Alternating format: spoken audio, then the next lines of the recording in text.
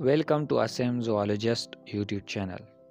So today in this video I will discuss about similarities or resemblance between prokaryotic and eukaryotic cell. Similarities or resemblance.